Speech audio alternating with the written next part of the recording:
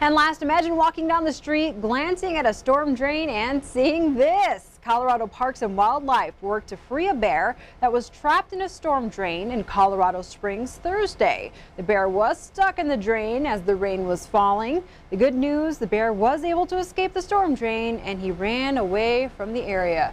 Connor, how do you think he got down there? Certainly not that way. I can't even begin to imagine. Me Maybe neither.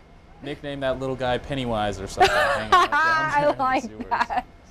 I like that creepy bear clown. Oh, my my imagination is just soaring right now. All I'm not sure which would scare me more if I peeked down there and saw a grizzly bear looking at me or Or the clown. clown. yeah, equally as scary.